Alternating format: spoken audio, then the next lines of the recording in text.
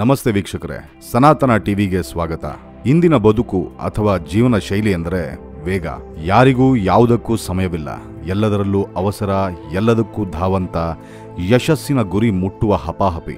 ಏನಾದರೂ ಆಗಲಿ, ಹೇಗಾದರೂ ಆಗಲಿ, ಎಲ್ಲರನ್ನು ಹಿಂದಕ್ಕೆ ತಳ್ಳಿ ತಾನು ಯಶಸ್ಸಿನ ಎತ್ತರಕ್ಕೆ ಏರಬೇಕೆಂಬ ತವಕ.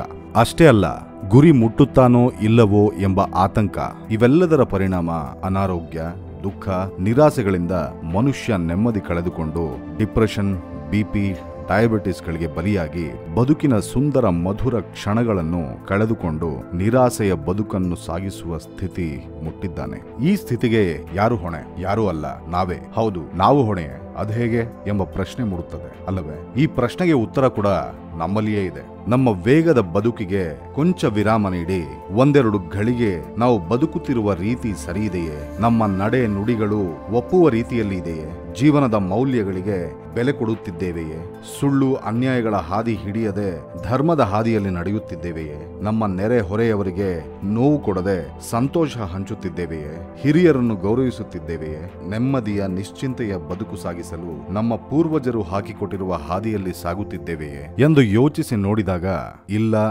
ಇಲ್ಲ ಎನ್ನುವ ಉತ್ತರವೇ ಸಿಗುತ್ತದೆ. ಅದಕ್ಕೆ ಕಾರಣ, ನಮ್ಮ ಬದುಕಿನಲ್ಲಿ ಜೀವನದ ರೀತಿ ನೀತಿಗಳನ್ನು, ಆಚಾರಗಳನ್ನು, ಕೆಲವು ಸಂಪ್ರದಾಯಗಳನ್ನು ಅಳವಡಿಸಿಕೊಳ್ಳದೇ ಇರುವುದು, ಅಸಡ್ಡೆಯಿಂದ ಅವುಗಳನ್ನು ಪಾಲಿಸದೇ ಇರುವುದು ಅಥವಾ ಅಂಥ ಸನಾತನ ಸಂಪ್ರದಾಯಗಳ ಬಗ್ಗೆ ಗೊತ್ತಿಲ್ಲದೇ ಇರುವುದು, ಅಂದರೆ ತಿಳಿವು ಅರಿವು ಇಲ್ಲದೇ ಇರುವುದು. ಅಂತಹ ಸನಾತನ ಸಂಪ್ರದಾಯಗಳು, ಆಚಾರ ವಿಚಾರಗಳು, ಫಲಾಫಲಗಳು ಅವುಗಳ ಸತ್ಯಾಸತ್ಯತೆಗಳ ಬಗ್ಗೆ ತಿಳಿಸುವ ಪ್ರಯತ್ನ ನಮ್ಮದು. ಸನಾತನ ಸಂಪ್ರದಾಯಗಳು, ಆಚಾರಗಳು ಎಂದ ಕೂಡಲೇ ಇವೆಲ್ಲ ಹಳೆಯ ಕಂದಾಚಾರಗಳು ಎಂದು ಸಾರಾ ಸಗಟಾಗಿ ಮೂಗು ಮುರಿಯುವ ಅವಶ್ಯಕತೆ ಇಲ್ಲ. ಹಾಗೆಯೇ ಸಂಪ್ರದಾಯದ ಹೆಸರಲ್ಲಿ ಜನರ ಮನದಲ್ಲಿ ಬೇರೂರಿರುವ ಮೂಢ ನಂಬಿಕೆಗಳ ಬಗ್ಗೆ ಸರಿಯಾದ ತಿಳುವಳಿಕೆ ಕೊಡುವ ಮನಸ್ಸಿನಲ್ಲಿ ಏಳಬಹುದಾದ ವೈಜ್ಞಾನಿಕ, ವೈಚಾರಿಕ ಮತ್ತು ಧಾರ್ಮಿಕವಾದ ಸಮಂಜಸವಾದ ಸಮಾಧಾನಗಳನ್ನು ಹುಡುಕಿಕೊಡುವ ಪ್ರಾಮಾಣಿಕ ಪ್ರಯತ್ನ ನಮ್ಮದು. ನಿಮ್ಮೆಲ್ಲರ ಸಹಕಾರ ಮತ್ತು ಪ್ರೋತ್ಸಾಹ